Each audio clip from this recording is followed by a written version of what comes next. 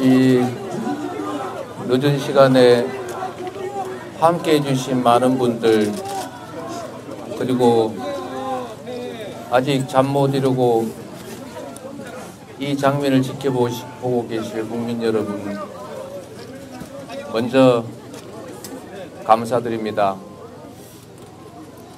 역시 정치는 정치인들이 하는 것 같아도 국민이 하는 것입니다. 인권의 최후 보루라는 사실을 명징하게 증명해 주신 사법부에 깊은 감사의 말씀을 드립니다.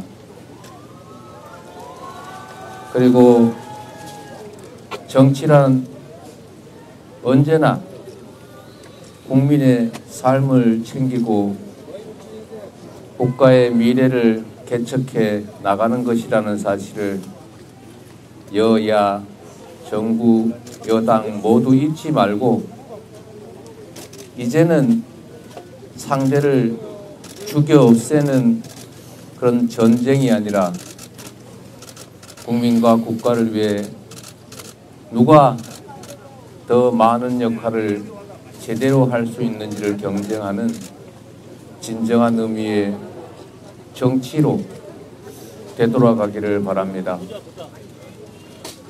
이제 모레면 즐거워해 마땅한 추석이지만 우리 국민들의 삶은 우리의 경제, 민생의 현황은 참으로 어렵기 그지 없습니다. 우리 정치가 국민들에게 희망을 주는 이 나라 미래에 도움이 되는 존재가 되기를 정부 여당에도 우리 정치권 모두에도 부탁드리면서 다시 한번 대한민국의 헌정 질서를